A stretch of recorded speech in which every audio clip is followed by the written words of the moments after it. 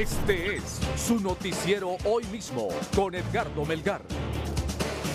Buenas noches, estamos listos para informar con Gerlin Díaz en San Pedro Sula, con Ramón Rojas en Santa Rosa de Copán y Omar Valenzuela en Cihuatepeque. Buenas noches a todos mis compañeros, comenzamos con Omar Valenzuela. Omar, buenas noches. Muy buenas noches, licenciado. Un gusto y un placer poderle saludar hoy en Cihuatepec, que estamos de fiesta. Así se celebra la llegada de los pliegos de independencia y yo, junto a mi compañero Héctor Mejía, le voy a mostrar el ambiente que se está viviendo acá, justamente en el Boulevard Morazán de Cihuatepec, donde hay que destacar que ya por muchos años el Instituto Tecnológico El Carmen es el que se encarga de poder hacer esta celebración y vamos a hacer un pequeño recorrido, licenciado Edgardo Melgar, aquí a través de Noticieros Hoy mismo, edición estelar, donde eh, este instituto pues se viste de gala, es el que organiza prácticamente y los demás institutos que desean participar pues eh, se suman a esta. Y ahora este día son 13 las instituciones que están en este momento participando. Miren, este es el uniforme tradicional del Instituto del Instituto Tecnológico El Carmen y a ritmo de punta, a ritmo hondureño, así así estamos nosotros disfrutando acá en Tihuatepeque, previo también licenciado porque estamos de fiesta 28 28 de septiembre y la próxima semana en el periodo morazánico Tihuatepeque celebrará también el marco el marco de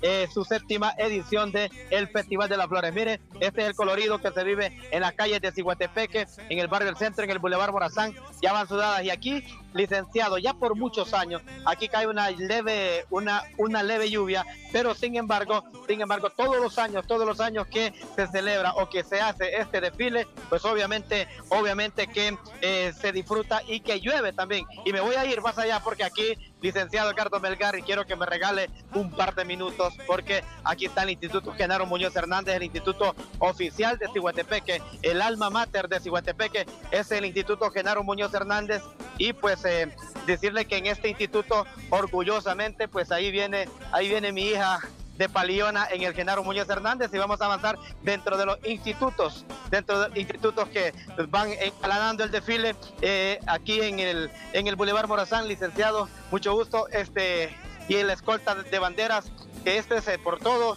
lo largo del Boulevard Morazán y tendrá que terminar, tendrá que terminar eh, en la Plaza Cívica, la mitad San Pablo, y este es el tradicional desfile de antorcha, licenciado. Esto es lo que, lo que todos los años hacen y el Instituto del Carmen es el que lo organiza, pero se le suma institutos como en este caso, eh, estos son excelencia académica, jornada nocturna, la jornada nocturna, estos son los alumnos de la jornada nocturna, los que desfilan eh, este 28 de septiembre y con el ambiente con el ambiente licenciado. La vamos a dar con el ambiente de una de las bandas más grandes, más grandes de, de Cihuatepeque, de Cihuatepeque, como es el Genaro Muñoz Hernández.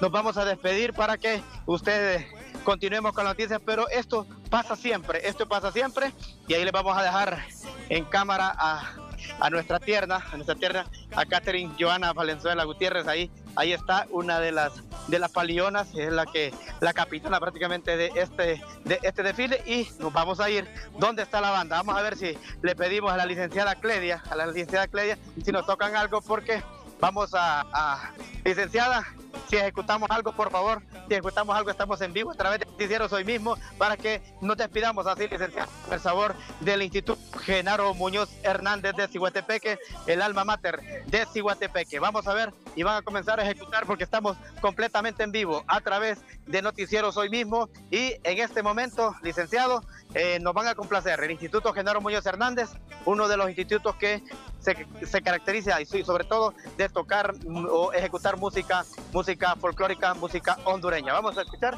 vamos a escuchar, vamos a ver.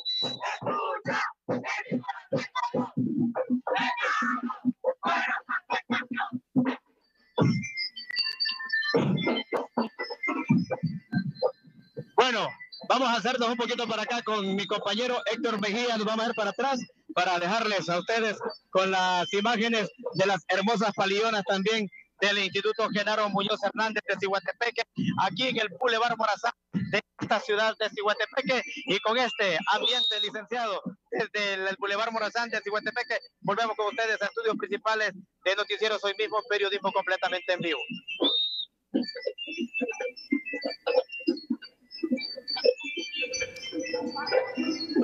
Muy bien, muchas gracias Omar Valenzuela y felicitaciones eh, a todos los eh, estudiantes y a los institutos que están participando esta noche en este desfile tan especial para Cihuatepeque. Vamos ahora a Daniel Mejía, eh, nuestro corresponsal en Choloma. Daniel, buenas noches.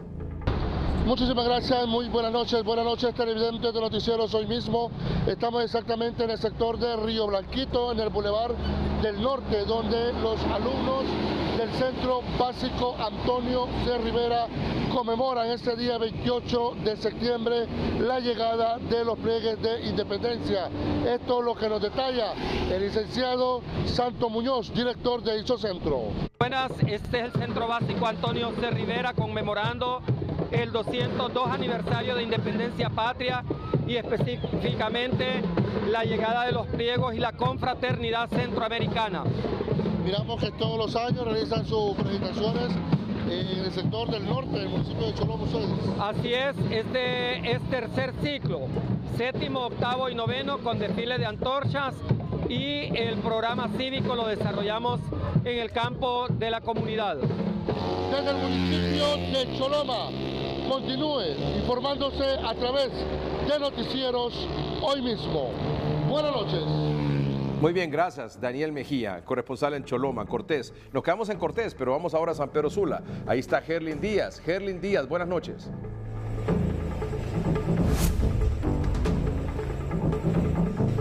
Buenas noches, licenciado Edgardo Melgar. Le informamos en el campo que tiene que ver con el Ministerio Público. Específicamente, hoy ha llegado don Ruperto Flores, quien era el encargado de eh, la línea de, de, enfriamiento donde estaban las 140 mil vacunas que se dañaron producto de un mal manejo que se hizo durante las últimas semanas. Sus compañeros del Citramedis han llegado a apoyarlo y han dicho que él estaba suspendido. A continuación, vamos a escuchar sus reacciones.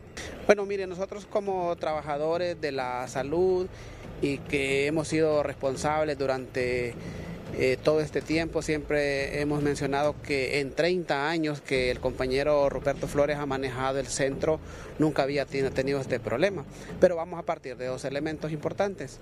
El compañero fue separado de su cargo por una orden de la señora Claudia Sicafi, delegada por el ministro de Salud, para intervenir el Centro Noroccidental de Biológico. ¿Cuándo fue separado?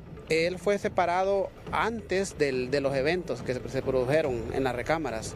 Y el otro elemento bien importante que también queremos resaltar nosotros es que esa recámara no pertenece ni estaba bajo la responsabilidad de él, sino que esa recámara pertenece a la región metropolitana de salud y tiene su personal asignado.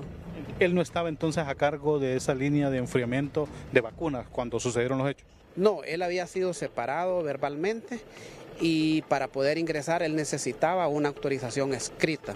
Entonces él en ese momento tenía una autorización escrita, él a pesar de que había sido separado solicitó una, una autorización escrita, se la dieron, lo tenemos como evidencia aquí en el Ministerio Público hizo lo pertinente, hizo lo que tenía que hacer, pero aún así se les notificó a las demás autoridades y no, no, no, no sé, no, no sé qué pasó ahí al final. Hasta ahora solamente se encuentra en calidad de testigo, según lo han informado sus compañeros, pero las autoridades del Ministerio Público seguirán investigando para encontrar a los verdaderos culpables. Con ese contacto vuelvo con usted. Muy bien, muchas gracias, Helen Díaz. Ramón Rojas en Santa Rosa de Copán. Ramón, buenas noches. Buenas noches, buenas noches, el licenciado Edgardo Melgar, amigos televidentes de Noticieros, hoy mismo edición estelar. Este día eh, ha cumplido 180 años de fundación el Centro Básico de Educación Jerónimo J. Reina, institución educativa más importante del occidente del país. Escuchemos a los directores tanto de la sección eh, de la mañana como de la tarde hablando sobre las actividades que han realizado específicamente un desfile por las principales calles de Santa Rosa de Copán conmemorando el aniversario. Muy alegres, muy motivados. Jerónimo J. Reina está de fiesta. Iniciamos el día lunes celebrando nuestro 180 aniversario. Eh, desfilando con toda la gala este día acá. Sí, hoy estamos de rojo, azul y blanco. Son los colores de nuestra bandera y estamos acompañados pues de todos nuestros padres y madres de familia y todo el alumnado, más de 800 alumnos con todos nuestros docentes. Así es, muy contento. Se dice fácil 180 años, pero sin embargo casi dos siglos de estar proveyendo educación de calidad y sobre todo también enalteciendo lo que es el nombre de, aquellos, de aquellas personas que, que tuvieron la idea en ese tiempo de traer la educación y de traer el desarrollo de una forma eh, eh, singular al departamento de Copán con lo que es la, la institución de nuestro Centro de Educación Básica Jerónimo de Reina, que hoy cumple 180 años de fundación todos los uh, alumnos desfilando. Ah, así es, ven pelotones, ven padres de familia, eh, que realmente eso nos, nos, nos, llena de satisfacción, ¿verdad? Eh, y nos realmente nos está diciendo que, que, la dirección del centro educativo va por buen rumbo, que se ha mantenido realmente llegar a la calidad que uno quiere, cuesta, pero más cuesta mantenerse en los centros educativos con los niveles que nosotros damos. Las actividades del aniversario número 180 del Centro Básico de Educación Jerónimo J. Reina han de concluir mañana con un homenaje para todos los maestros jubilados en donde pues se les va a reconocer por su trayectoria en este centro educativo, el más importante y antiguo de la zona del occidente del país. Con este informe, licenciado Edgardo Melgar, yo retorno con usted a la capital de la República. Buenas noches. Eh, Ramón, ¿ya está listo con su cafecito? Ya estamos listos. Hoy tenemos una noche fresca acá en Santa Rosa de Copán y entonces eh, en un par de minutos, en una hora aproximadamente, llega la hora de la cena. Y la cena con un buen café. Exacto, igual que el desayuno, no puede faltar el buen café de las altas montañas del occidente de Honduras. ¿Y no le quita el sueño el café en la noche? No, para nada, licenciado, yo solo ceno y voy para mi aposento a descansar para levantarme muy temprano mañana por la mañana. muy bien, gracias. Ramón Rojas. feliz noche. Gracias, a usted también y a su familia. Vamos a un corte comercial en el noticiero, pero cuando regresemos, ha sido capturado un hermano de un eh, diputado de Libre. Eh, se trata, lo detiene por tráfico de drogas, no es para, para extradición, sino que había, había denuncias ahí como que se dedicaba a la venta de marihuana y no sé si otro tipo de droga, pero ha sido capturado un hermano del diputado de Libertad y Refundación, Mario Argeñal. El mismo diputado indicó que vecinos eh, de la zona en el departamento del Paraíso le notificaron que su hermano estaba siendo detenido por la policía. Vamos a tener los detalles en, en unos minutos más adelante aquí en el noticiero. Este es el portal de tunota.com a a esta hora de la noche que destaca esta información. El precio de los combustibles es presentado por Acate Motos, dejando huella en tus aventuras. El precio de los combustibles en Tegucigalpa, gasolina super 120.68 lempiras, gasolina regular 105.65 lempiras, diésel 102.66, queroseno 94.99, gas vehicular 43.27, gas LPG 238.13. El precio de los combustibles en San Pedro Sula. Gasolina super 117.91 lempiras. Gasolina regular 102.91 lempiras. Diésel 99.75. Queroseno 92.09. Gas vehicular 39.74. Gas LPG 216.99. El precio de los combustibles fue presentado por Acate Motos, dejando huella en tus aventuras.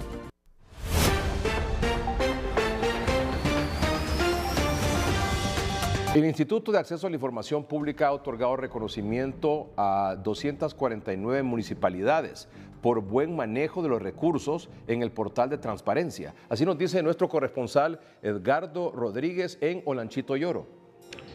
Buenas tardes compañeros de noticieros, hoy mismo de TSI, licenciado Edgardo Melgar. Auditorio en todo el país, hoy se llevó a cabo una importante eh, premiación, un reconocimiento a las alcaldías de nuestro país. Reunida aquí en Olanchito, el Instituto de Acceso a la Información Pública, pues siempre hace este reconocimiento por el manejo, el buen manejo eh, de forma transparente de los recursos de las municipalidades. 249 municipalidades representadas en este importante acto en la ciudad cívica de Honduras, Olanchito. Oficiales de información pública, no hay que bajar la guardia, hay que seguir garantizando este derecho de buscar y divulgar información. Acompañemos a nuestros alcaldes y a nuestras alcaldesas en esta tarea para que ya no nos volvamos a multar. Pero es primera vez que vengo, ¿verdad? He querido venir aquí a Olanchito por conocer Olanchito, llevo una buena impresión por interactuar con los alcaldes. Y yo siempre he dicho que en los alcaldes está el desarrollo en las alcaldías de los pueblos, porque somos los que conocemos verdaderamente las necesidades. Estamos felices, eh, tenemos eh, un orgullo, un orgullo del bueno, del sano, del natural, no un orgullo vanidoso, pero nos sentimos orgullosos los lanchitos de que Dios nos haya permitido montar un evento de esta naturaleza. Este es mi contacto desde la ciudad de Lanchito con las imágenes de Zulma de Rodríguez, Edgardo Rodríguez, Noticieros hoy mismo. Retorno hasta la capital, Tegucigalpa. Buenas tardes. Consejo Económico es presentado por Ciudad Jaraguá, un nuevo concepto ecourbanístico moderno.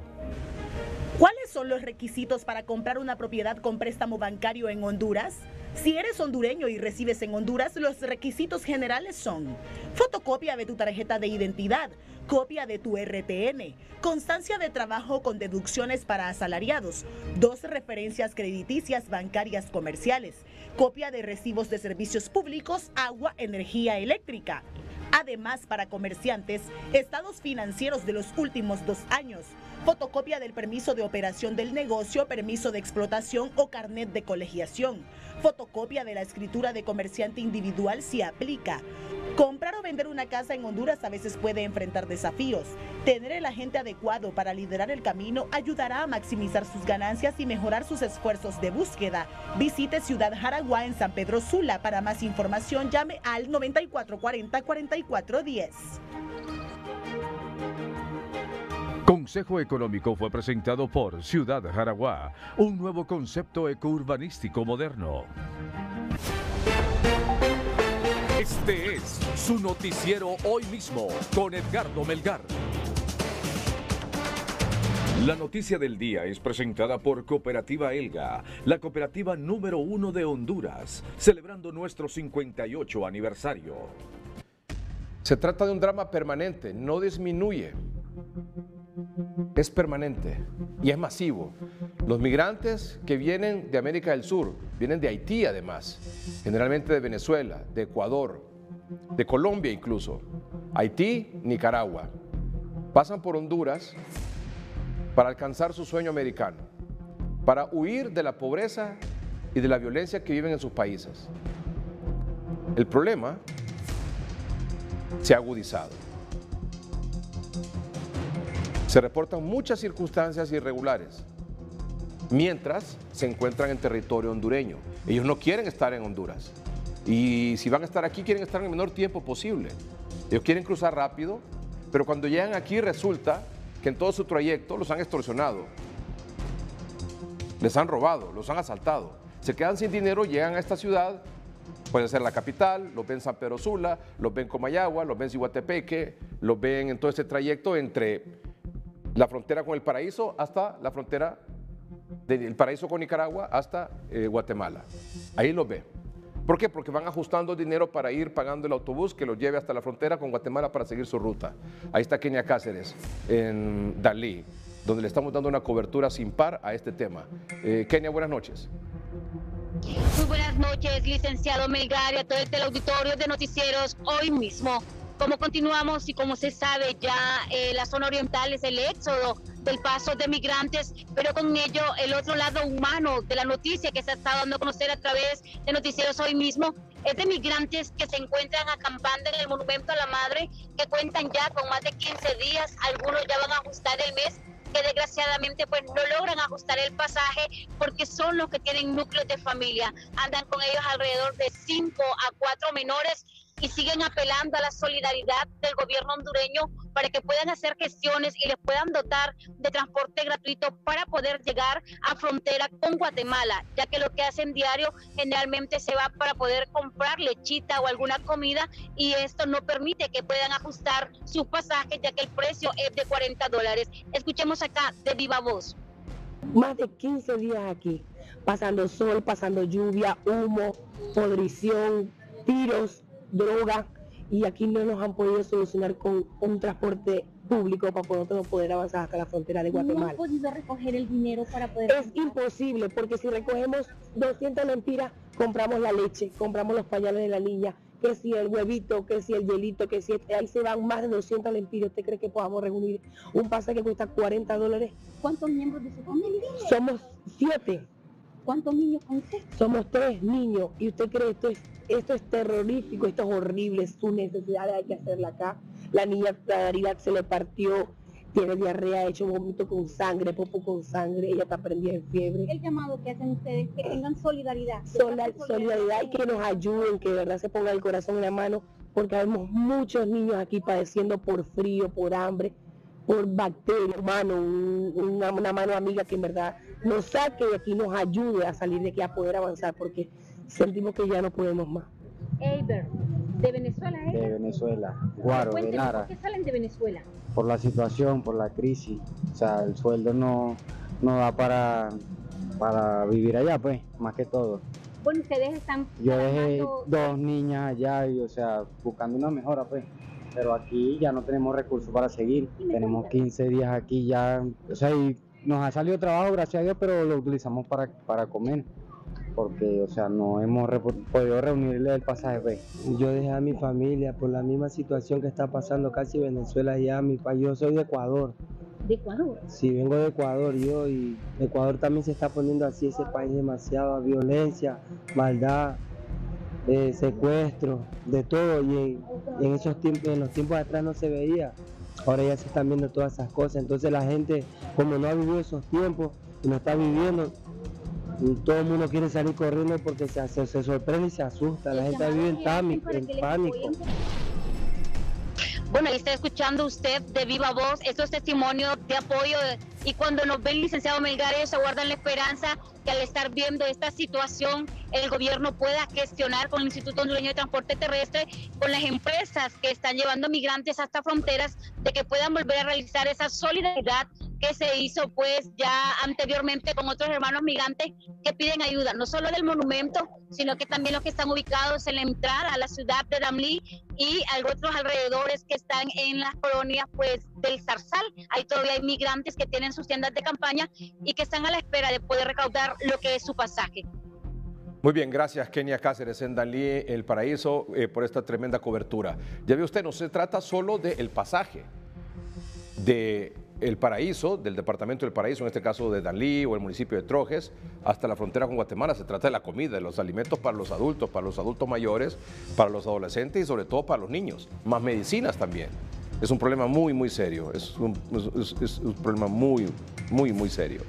No sé por qué las autoridades aquí en Honduras se tardan tanto en dar una solución integral a este problema. Ya lo hicieron en una ocasión, a instancias de este noticiero, solicitamos que se habilitaran autobuses el gobierno lo hizo y rápido trasladó a una buena cantidad de estos migrantes hacia la frontera con Guatemala para que ellos pudieran continuar con su, con su aventura, con su riesgo, que es tremendo. ¿Cómo, estará estas, ¿Cómo estarán estas familias que vienen de Venezuela, que vienen de Ecuador, según los mismos testimonios que recogía hoy Kenia Cáceres y bueno, todos los días? ¿Cómo estarán desesperados en sus condiciones de vida para arriesgarse a todo lo que se arriesga en este, en este trayecto? Pasar por esa selva del Darién, entre Colombia y Panamá, luego Costa Rica, Nicaragua, Honduras, Guatemala, México. No necesito contarle todas las denuncias que sufren nuestros migrantes también hondureños en ese trayecto. Para luego encontrarse con estos alambres de púas y todas las otras cosas que les han tratado de aplicar para evitar que crucen la frontera entre México y Estados Unidos. Pero les decía antes también que todos estos grupos, estos núcleos familiares, no solo los va a ver en Dalí, no solo los va a ver eh, en, la carretera entre eh, Tegucigalpa y San Pedro Sula y hasta Guatemala. Aquí en la capital hay grupos de venezolanos que acampan. Ahora están en el Parque El Obelisco, aquí en Comayagüela.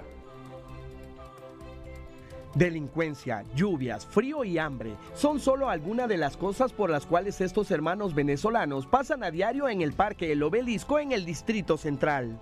Sí, de verdad que por lo menos nosotros salimos con un grupo y los otros grupos como tenían su dinero, ellos se, se fueron adelante.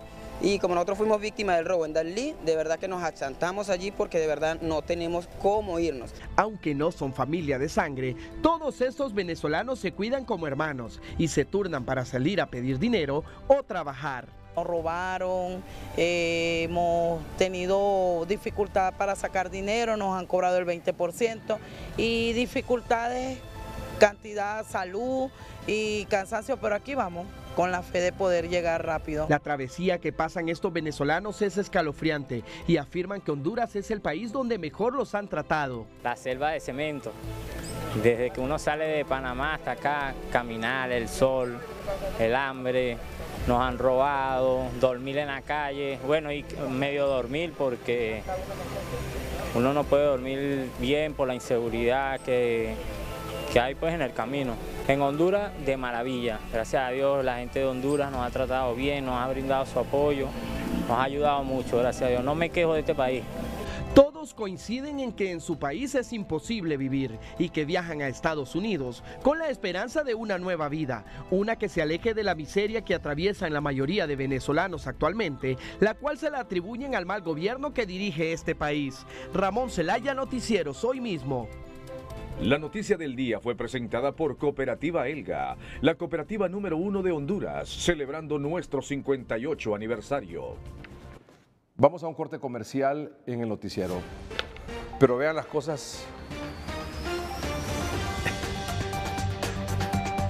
Lo opuesto, lo opuesto. Mientras, por ejemplo, los pacientes oncológicos del Hospital San Felipe no pueden recibir su tratamiento porque la máquina está mala y el cáncer avanza en sus cuerpos y no hay nadie que les dé una respuesta. Por otro lado, una buena comitiva de entre 20 y 30 diputados del Congreso Nacional salieron en las últimas horas a Rusia. Los detalles en unos minutos.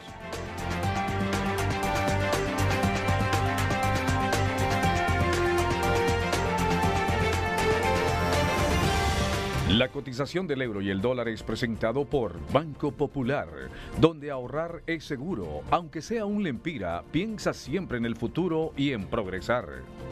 El precio del dólar en Honduras. Compra 24.64 lempiras. Venta 24.76. El precio del dólar en Costa Rica. Compra 530 colones. Nicaragua 35.96 córdobas. Guatemala 7.66 quetzales. El Salvador 1 dólar. Panamá 1 dólar.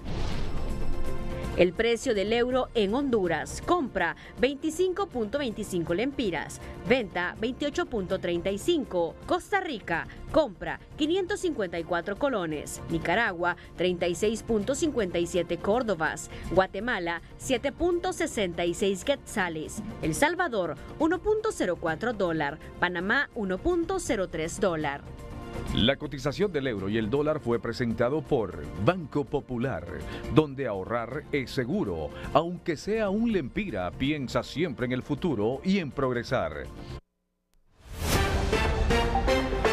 Las exportaciones hondureñas en lo que va del año aumentaron en volumen, pero cayeron en precio en el mercado internacional, lo cual hace evidente la necesidad de generar valor agregado a los productos y de ampliar la oferta exportable. La noticia económica es presentada por el Fiestón Millonario de Chorotega, que premia tus ahorros. Cooperativa Chorotega, creyendo juntos.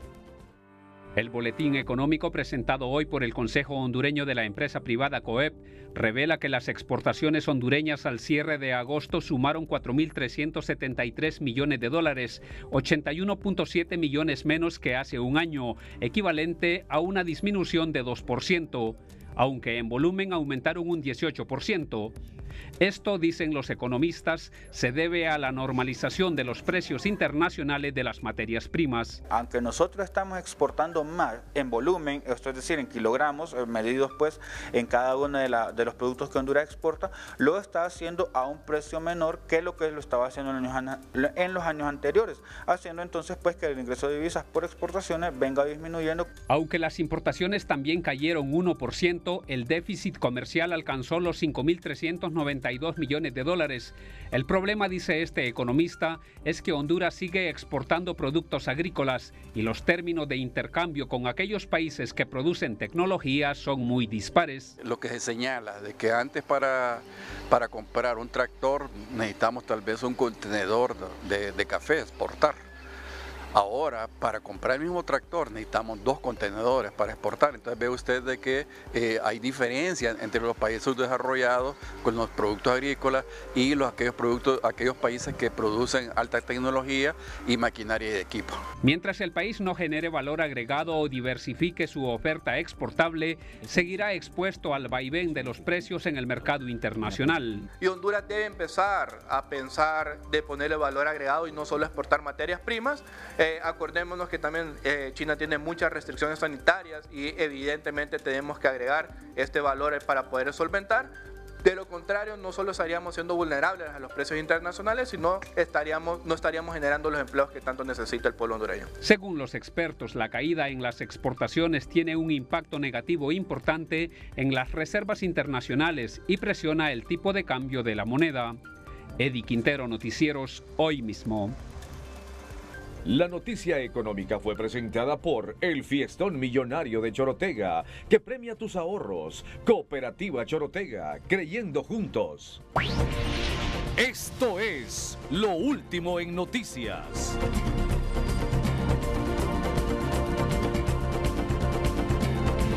Esto es lo último en noticias. En su cuenta de redes sociales, el diputado del Partido Libertad y Refundación, el abogado Jorge Cálix, diputado por el departamento de Francisco Morazán, ha publicado la siguiente nota con el siguiente comentario. He pedido formalmente, eso fue hace 43 minutos, he pedido formalmente no recibir mi salario hasta que regresemos a sesionar. La inactividad legislativa de este Congreso le cuesta dinero a nuestro pueblo. Eso ha subido hace 43 minutos a sus redes sociales el diputado Jorge Cálix. Como usted sabe que no hay sesiones por el tema este de que no se logra un acuerdo para elegir al fiscal general y al fiscal general adjunto, entonces se ha decidido de que no haya sesiones y que por lo tanto no hay sesiones, pues no se discute ningún otro tema. Y si no hay sesiones, no se discute ningún tema. Los diputados, sin embargo, siguen recibiendo sus salarios, siguen recibiendo sus viáticos. Y no solo eso, sino que en este caso hasta salieron de viaje. Hay quienes dicen que 16, otros dicen que 20, hay quienes manifiestan que son más de 30. Todavía no hay un dato oficial al respecto. Lo que se han circulado son fotografías de los viajeros. Bueno, pero primero don Jorge Cálix. Eh, don Jorge, buenas noches. Gracias por aceptar esta comunicación. Saludos, Edgardo. Un placer estar con usted aquí en su programa y, comunicarme con el pueblo hondureño a través de, de la poderosa señal de TSI a nivel nacional. Muchas gracias, don Jorge. ¿Nos puede comentar su decisión de que, de que no le paguen mientras no sesione el Congreso? Mire, me parece un insulto a la realidad que vive Honduras que nos estén pagando cuando tenemos todo un mes sin sesionar. Y un mes es que no es receso, porque ya la, ley establece los periodos de receso del Congreso. Y en esos periodos, pues hombre, la misma ley establece que no, no habrán sesiones. No hay ningún problema. Pero este mes de septiembre, que no hemos sesionado, que ningún diputado ha puesto un pie en el Congreso, me parece un insulto que estemos cobrando sueldo.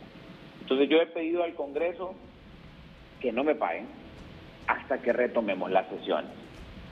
Porque siento que, que le robo al pueblo hondureño, siento que me aprovecho del pueblo hondureño y eso no es correcto. Ese dinero puede servir para comprar medicinas en los hospitales, que no hay medicinas en los hospitales, o para hacer cualquier otra cosa de provecho para la gente.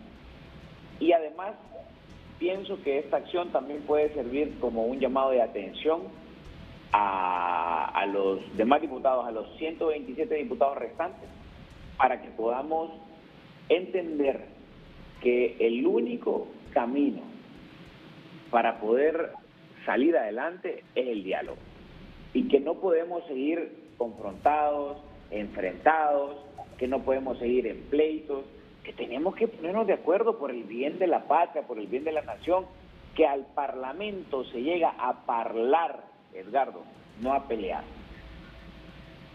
Todo el mes de septiembre no sesionaron y, y las sesiones se anunciaron que nuevamente eh, aparentemente volverían hasta el 17 de octubre, abogado. Es un insulto. O sea, todo el mes de septiembre sin trabajar y nos quieren pagar. Y luego 17 días de octubre sin trabajar y que nos vayan a pagar. Me parece una ofensa para el pueblo hondureño. ¿Qué, qué diablos hacemos todo este tiempo sin sesionar? Encerrémonos en ese Congreso y no salgamos hasta que tengamos una, un consenso. Y hombre, entendamos todas las partes, Edgardo, todos. Que ni nosotros tenemos la razón ni ellos. Que ni nosotros estamos equivocados ni ellos. Que aquí no se trata de blancos y negros, sino que de buscar el mejor tono del gris. Eh, abogado Cáliz, ¿cuánto gana más o menos un diputado propietario? 90 mil lempiras sin deducciones. Con deducciones vienen siendo como 60 más o menos. 62 creo por ahí. Ah, ¿Y viáticos? Bueno, no sé, no sé los que viajan cuánto le dan en viáticos. Habrá que preguntarle a la delegación que salió hoy, que me dicen que son como de 35 o de 30, no sé. Usted en su programa acaba de decir que eran 16, yo no, no tengo... Sí, no hay, no hay un dato oficial. Sí, no hay un dato oficial. Ahí dicen que son 16, 20, 30, sí. sí. Entonces, no, no sé, yo no, no he recibido un tan solo lempira en concepto de viáticos de este Congreso. Cada vez que he sido invitado en mi condición de diputado a disertar en un foro internacional, lo he hecho con mis recursos o con recursos de, la, de las organizaciones que me invitan, no con dinero del pueblo hondureño. Estamos hablando de 90 mil lempiras, ¿verdad? Por... Sin deducciones. con deducciones vienen siendo como 60 mil. Entonces los multiplicamos. 62, por ahí. Multiplicamos 62 por 128, sería. Eh, tendría que ser como 62, 65 por 128, porque eso es lo que recibe el diputado, 65 más o menos. Por 128. Por 128, correcto. 8 millones 320 mil empiras. Que deberían de ser utilizados en comprar medicinas, en pupitres para las escuelas o en cualquier cosa que le sirva a la gente. Pero un Congreso que no sesiona no le sirve a la gente. ¿Y, a qué atribuye eso de que mientras no nos pongamos de acuerdo para elegir al fiscal, no vamos a discutir ningún otro tema aquí en el Congreso ni nos vamos a reunir? Son posiciones radicalizadas de todo el mundo.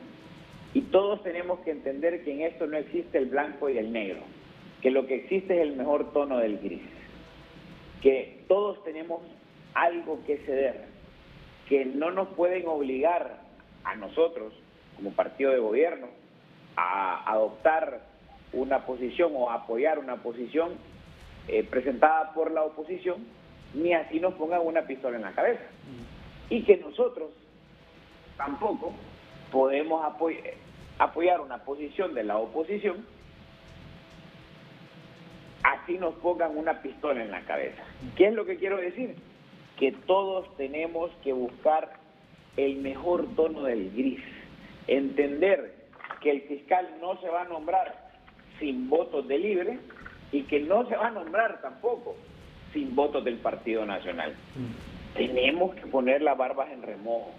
Tenemos que darle al pueblo hondureño la satisfacción de que vean que hay un Congreso que legisla, que busca consensos en beneficio de la gente. Los insultos, la diatriba, eso no lleva a ningún lado, Edgardo, a ningún lado. Todos tenemos posiciones diferentes, todos tenemos ideas distintas. En el Congreso hay seis partidos políticos, si no me equivoco. Está el, el PAC, la Democracia Cristiana, Partido Liberal, PSH, Partido Nacional y Libre. Y esos seis partidos políticos todos tienen ideas diferentes y todas deben ser respetadas. Entender que la diferencia de opinión es un derecho, pero que tenemos que buscar el mecanismo para que nuestras opiniones, aún siendo diferentes, puedan convivir de manera sana, sin estropear la función del Estado, que es buscar el bien común. No hay bien común en un Congreso que no sesiona. Esa es la realidad. Y demostrar una incapacidad de diálogo solo nos deja evidenciados ante el pueblo hondureño como un Congreso inoperante. Y eso es responsabilidad de los 128 diputados. No es responsabilidad de uno solo, Edgardo. Quiero dejarlo bien claro. Es responsabilidad de todos. Yo no me siento bien cobrando si no sesionamos. Muy bien. ¿Y ha recibido respuesta a esa nota? No, la nota la presenté el día de hoy. Yo espero que me la respondan cuanto antes. Y, y bueno. Y, y no va, a ser pública la, va a ser pública la respuesta también, ¿verdad? Pues eso no depende de mí, Edgar. No, Yo cuando- pública. Cuando usted la reciba la nota de respuesta, la hace pública diciendo, sí señor, no le vamos a pagar septiembre para que se vea que realmente la cosa es así. En el momento en que me respondan, si lo hacen, yo lo haré público, así como hice pública la solicitud. Muy bien, excelente. Eh, otra cosa, son 35 lo- los diputados que se fueron a Rusia. No me consta eso, Edgardo. Eso es lo que escucho, eso es lo que leo. No sé, no les sabría decir. En lo personal me parece que es un error ir en este momento a Rusia, eh, que es un país que, que ha, hombre, invadido otro. En el concierto de las naciones está muy mal visto y creo que a nosotros nos deja mal parados. Pero esa es la opinión de Jorge Cáliz. Sí. Quiero claro, dejarlo claro. claro. Dígame, ¿lo invitaron a usted? Eh, no, a mí me presentaron las opciones de, de, de viaje y yo pues he decidido estar aquí. ¿Cómo, que le presentaron las opciones de viaje? Le dijeron, puede ir a Rusia. Hay- había un viaje para Rusia, un viaje para China, un viaje para Estados Unidos. Ah, era- lo estaban repartiendo como naipe. No, son invitaciones que reciben y eso es normal, Edgardo, eso no, sí. no es... Pero me no, refiero, no, estaban repartiendo la invitación entre los diputados. ¿A cuál quiere ir usted? Sí, es decir, si hay tres invitaciones, eh, supongo que preguntan a, a- a cuál le parece ir usted, quiere ir a este, ¿A usted, ir a usted le ofrecieron ir, ¿A usted le ofrecieron ir a uno de esos viajes? Sí, sí, sí, no puedo decir que no. Y usted dijo que no. Sí, yo he preferido quedarme. acá. O sea, no, no, no me parece correcto ir en este momento a Rusia, por ejemplo. Y, y- y a ningún otro lado, ¿verdad? Sobre todo en la circunstancia en la que está el Congreso. Cuando me lo propusieron no estábamos en esta situación. Cuando me lo propusieron no estábamos en esta situación. O sea que en otras circunstancias lo hubiera aceptado. En otras circunstancias, me parece que visitar un país con el que uno tiene relaciones diplomáticas no es malo. Pero en estas circunstancias, en las que hay una guerra en Ucrania y el Congreso no sesiona, me parece doblemente incorrecto. Bueno, eh, muchas gracias por aceptar esta comunicación, eh, abogado Jorge Cálix, y es de reconocer su gesto también, ¿verdad? Es decir, usted, hasta donde yo sé, es el único que ha dicho, mire, no me paguen mientras nosotros no trabajemos, mientras no sesionemos. Así que muy bien, abogado.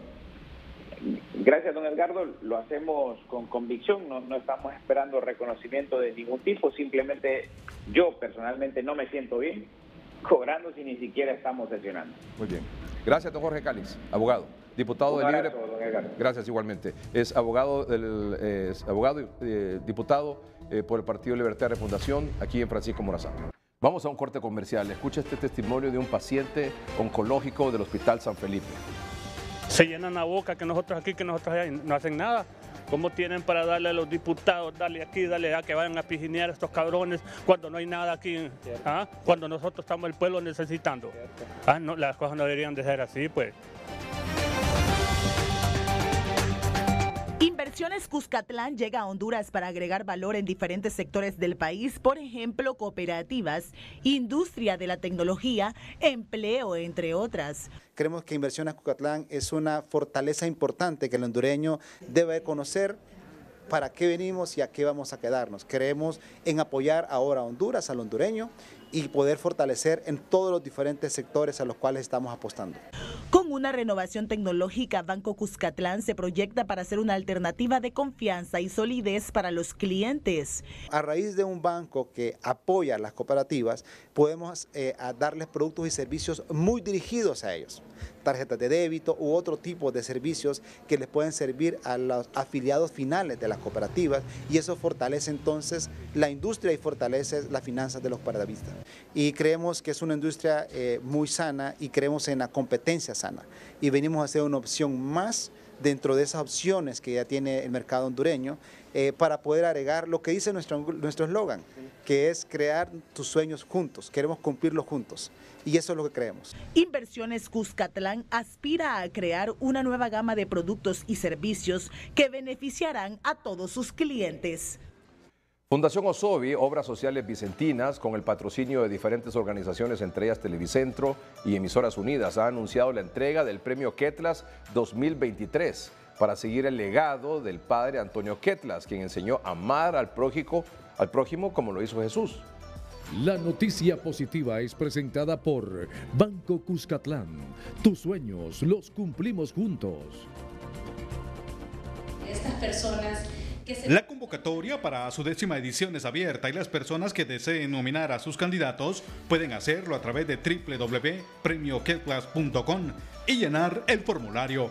Agradecerle a, a Televicentro porque ya son 10 años de estar trabajando en este premio Ketlas. Estamos buscando ese pan de Dios. Y el pan de Dios es aquella persona que de repente nos aparece y nos llena un vacío, una necesidad de donde menos estamos esperando una ayuda y de repente la obtenemos de esa persona o de esa organización. Televicentro, Emisoras Unidas y sus plataformas digitales están disponibles para su promoción del magno evento que premiará el 8 de noviembre al próximo Pan de Dios ya que por medio de nuestras plataformas de televisión, radio y digital, nosotros primero motivamos a las personas a que manden a los, a los, a nominen a personas que ellos conocen, que hacen una labor social increíble.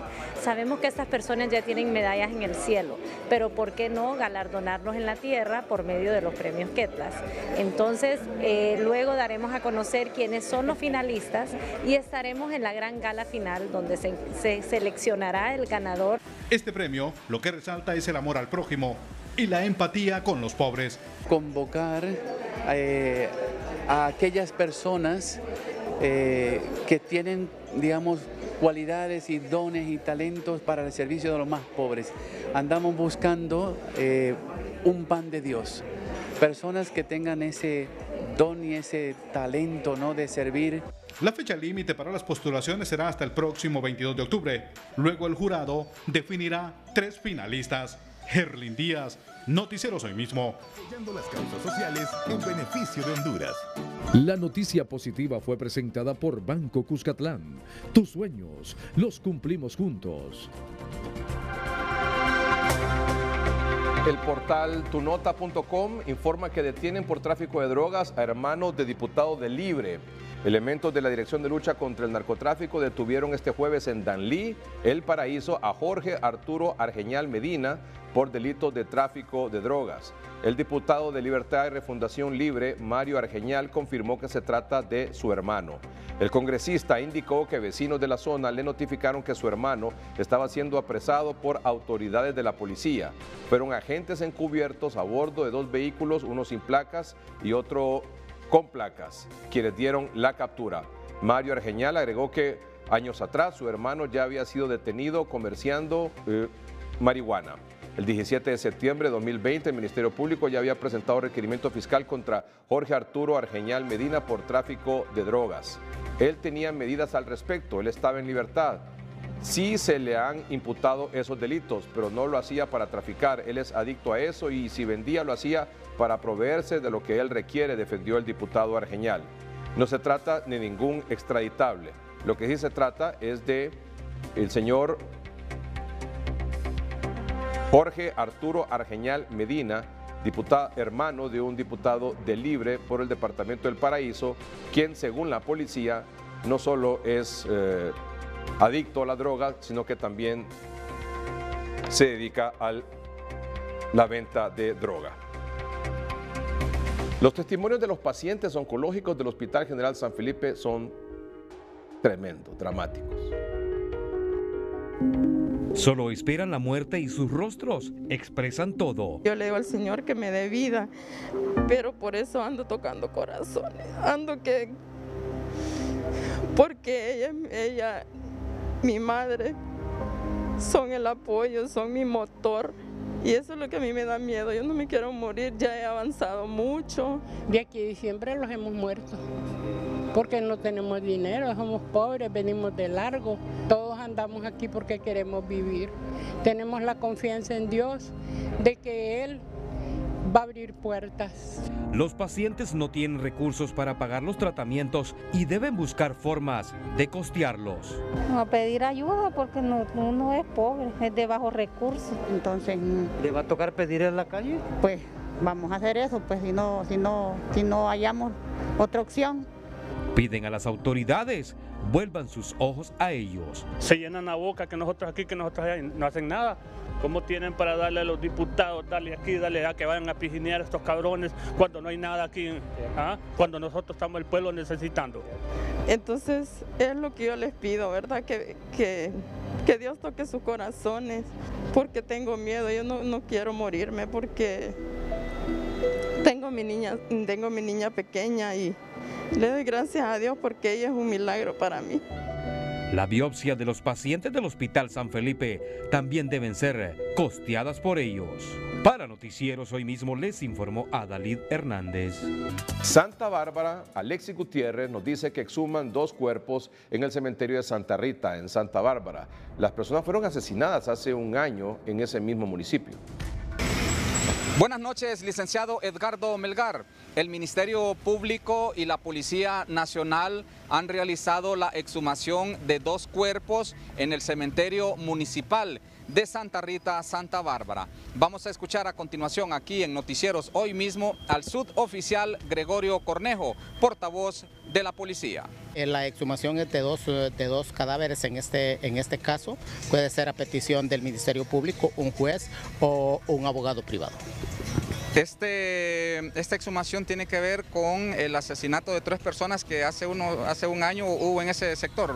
Hace menos de, un año. Recuerde que fueron, fueron tres personas las que, las que fallecieron en, un solo hecho, razón por la cual el, juez ha tomado, la, la, tomado a bien eh, llevar a cabo esta exhumación. Ellos sabrán por qué, el motivo y qué es lo que buscan con esta exhumación.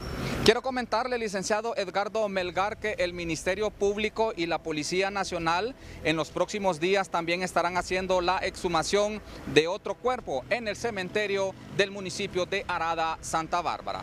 Con este informe retorno con usted, licenciado Edgardo Melgar, hasta los estudios centrales de Noticieros hoy mismo, en Tegucigalpa. Muy bien, muchas gracias. Cerramos el noticiero con información de aviso de interrupción de energía para mañana, ya viernes 29 de septiembre, en La Ceiba, de 5 de la mañana a 7 de la mañana. Barrio Alvarado, La Merced, Imán, Avenida 14 de Julio, desde Plaza Las Banderas hasta Mercado San Isidro, Hospital eh, Medicentro, Barrio Solares Nuevos, de 5 de la mañana a 7 de la mañana, dos horas mañana en La Ceiba, 29 de septiembre.